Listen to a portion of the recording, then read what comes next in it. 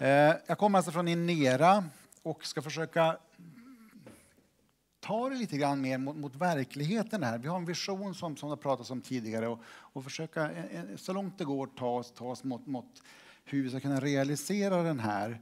Och innan jag gör det ska så att alla vet vad Inera är, det kanske inte är alla, men vi är alltså en, en, en organisation som ägs av, av landsting, kommuner och regioner direkt och via SKL.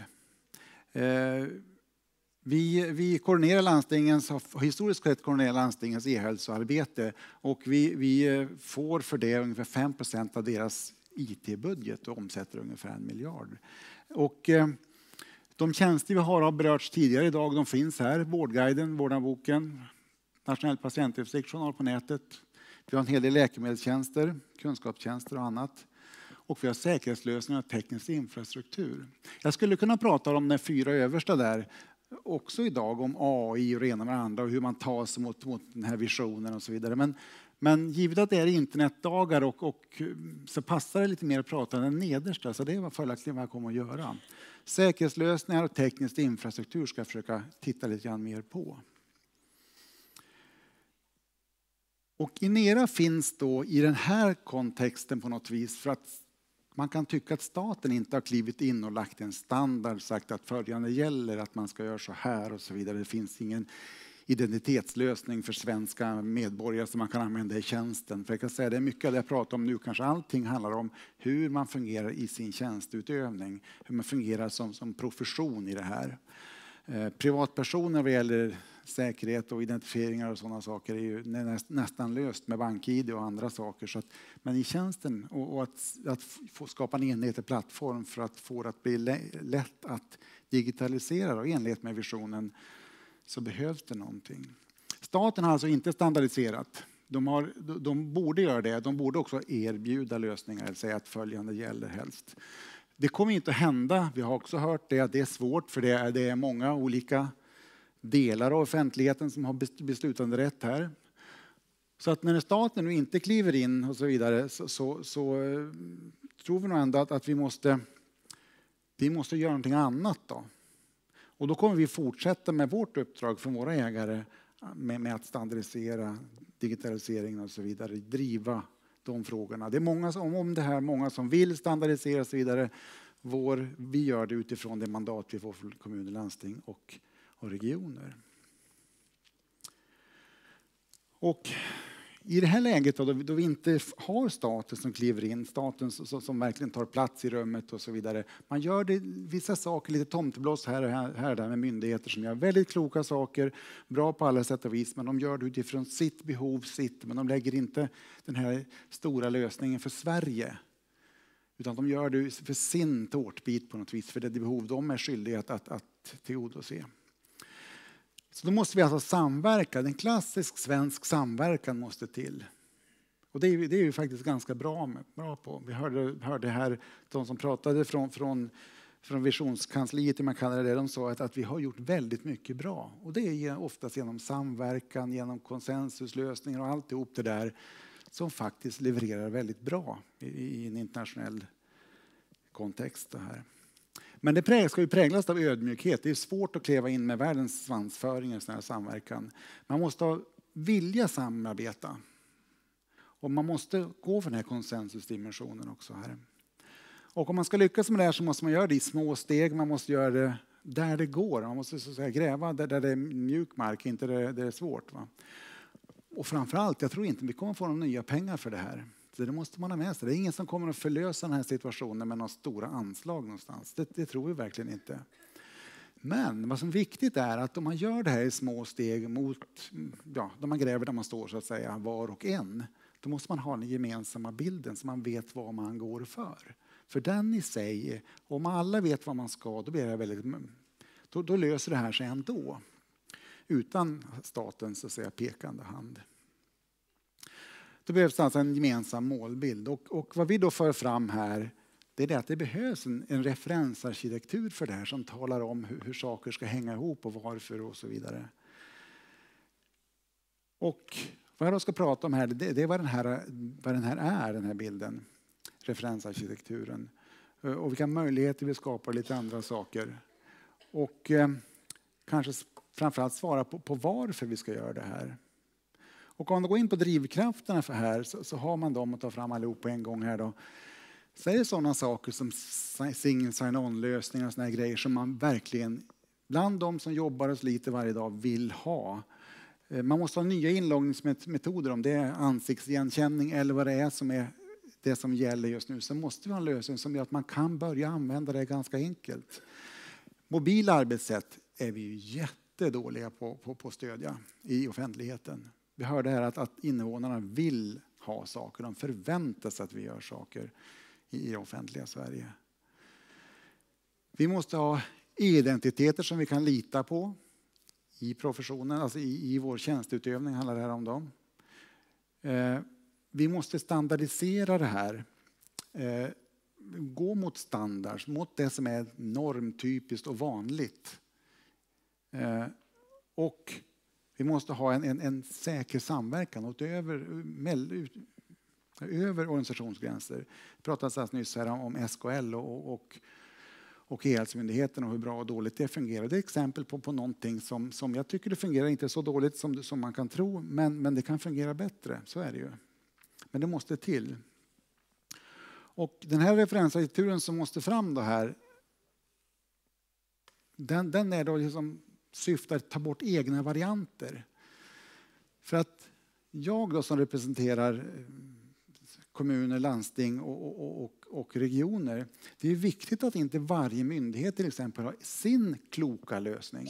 Utan man har en, lös, alltså en lösning. Så att jag gör någonting i en landsting, en kommun, så ska det täcka alla stat, statliga myndigheters behov på området. Sådana saker är, är otroligt viktiga. Att säga. Eh, och, och, om jag då har det så uppnår man det här till exempel. Man loggar in på ett sätt, vare sig det är Försäkringskassan, Läkemedelsverket eller vad jag ska in och göra någonstans. Och, och, och, och vad man försöker göra här är att, att den här säkerhetstekniken läggs i en infrastruktur. Sambi är en del i en sån infrastruktur.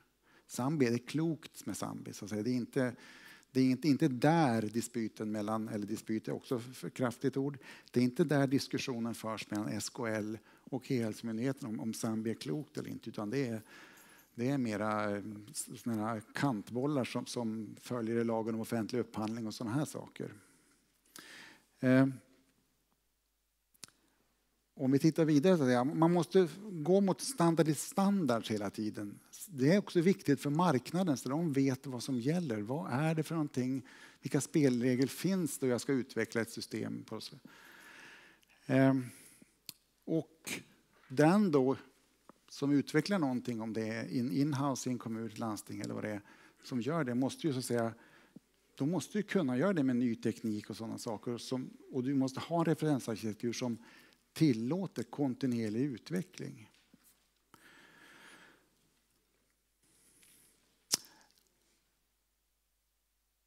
Referensarkitekturen är alltså ett produktoberoende arkitekturmönster för design av lösningar inom ett visst område.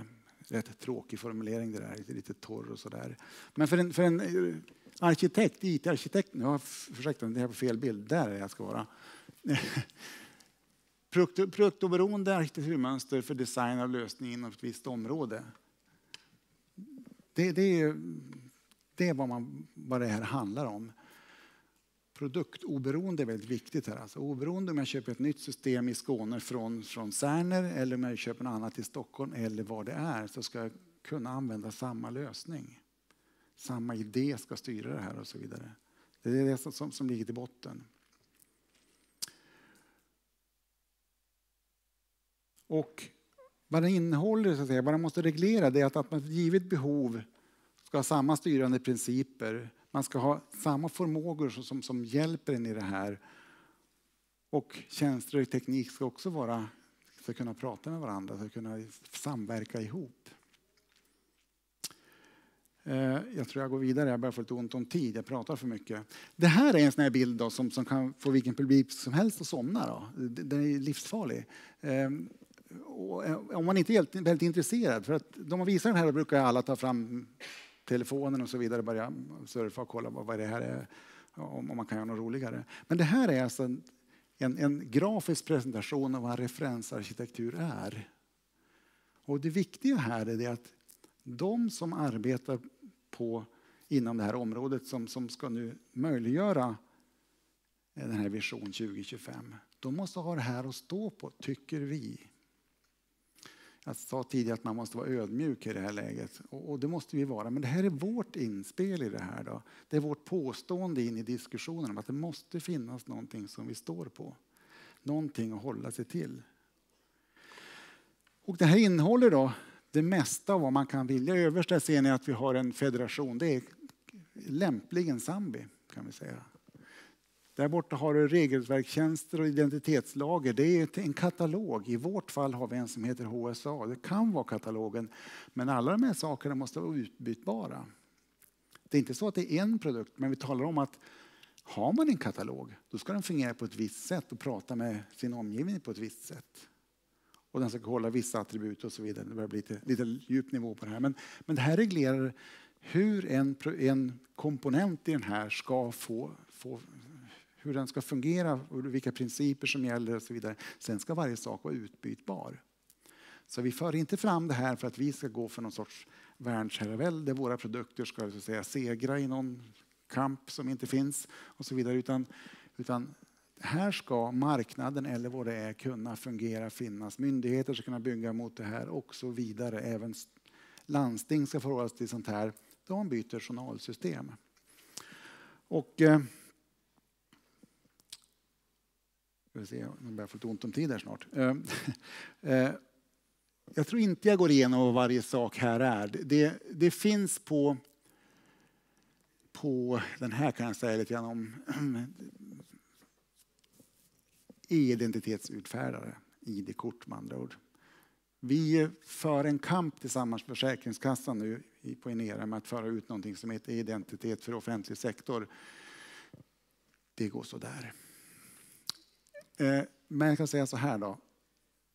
Identitet för offentlig sektor är en, en idé, en tanke, ett ramverk, ett regelverk och det är implementationer utav det. Om ni tänker bank-id och så tänker ni Handelsbankens implementation av det, SE-banken och så vidare.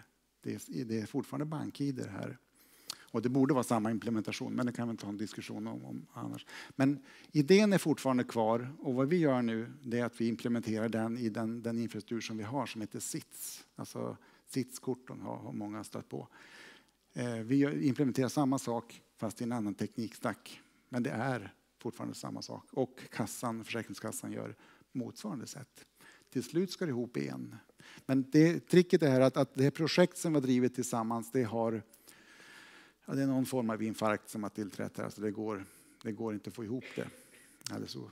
Så det skulle jag bara säga. Men, men det är ett exempel, exempel på en komponent, men man kan mycket väl här använda Freja EID eller vad man vill. Det är viktigt att komma ihåg. Det, det, så att säga, det, det är det här det handlar om, att man ska kunna byta ut mot det man vill använda, svenska pass eller vad det nu är. Så vi går